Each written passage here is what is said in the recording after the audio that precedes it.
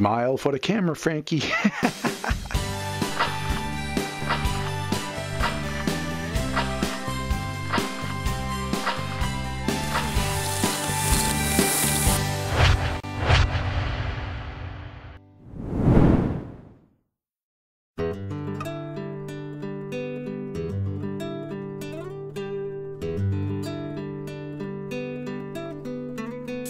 Hey, good morning from the Backwoods Cabin.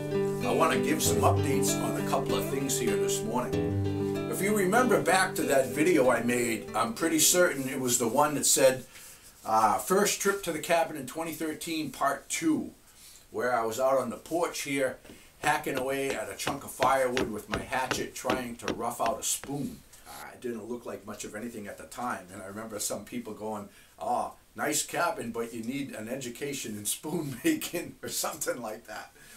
Anyway, and then then I showed it later on in another video where I'd done more work to it, and it was starting to come into it.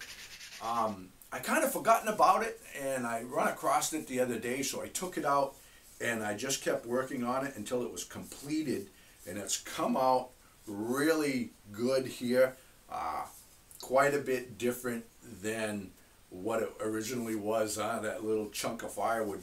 Uh, I'll show it in closer detail. My inspiration for this was from Dick Proenneke, uh, reading um, the books made from his journals and the videos, uh, and he was always making spoons out there in the wilderness, and I always wanted to try it. And this was my first and only attempt I've ever done at spoon making.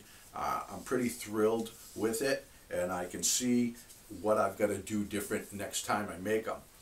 I'll show it in closer detail here. Now, Dick Proenneke used a straighter grain. Uh, the piece of firewood that I used was bent like this, so it had a lot of gnarly stuff in it. So it was really difficult to carve out, but um, I'm thrilled with it, really. Uh, come out really nice. Uh, it was a lot of work, but I'm pretty proud of it just the same. I've got a few coats of mineral oil on it, so I didn't use any urethane or anything like that because I'm going to be dealing with food. So I'm just going to give it its maiden voyage this morning, and then later I'm going to drill a hole and put like a little rawhide tong on it here so I can hang it on the side of my cabinet or something right here like that. So, I'm really happy about that. And then over here is another waffle iron that I restored. Uh, the first one was a Montgomery Ward circa 1925, and this one's a Griswold. Um, it's a little bit different.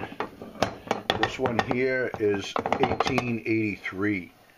Uh, nice iron. This was taken right back to bare iron, and it was silver when I started the seasoning process. And now um, it's really nice. It's got not even so much as a crumb sticks in here. It's got a beautiful seasoning to it. Just a really, really nice waffle iron. And you'll see it in action in a minute here. Yeah, so you'll see both of these in action here this morning.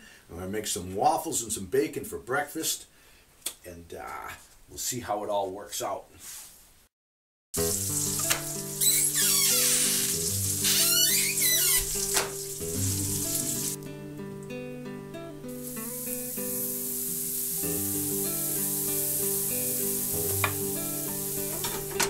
The Dick Proenneke video, when he made his spoon, he had said one spoon one pancake.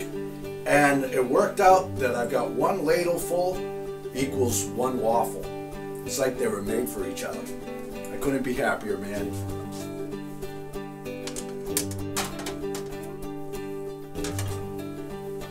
Oh, look at that. Nothing stuck. Yeah.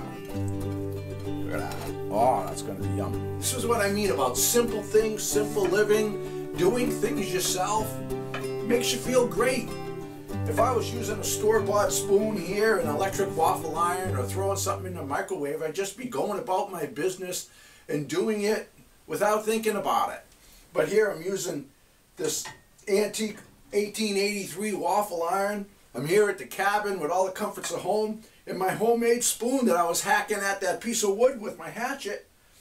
And I got this awesome breakfast going here, and it's thrilling me to death. if I was just using store-bought stuff and uh, throwing something in a microwave or my electric waffler, I'd probably just go through the motions and not even realize what I'm doing, you know? So anyway, I've got some good breakfast here and I'm gonna chow.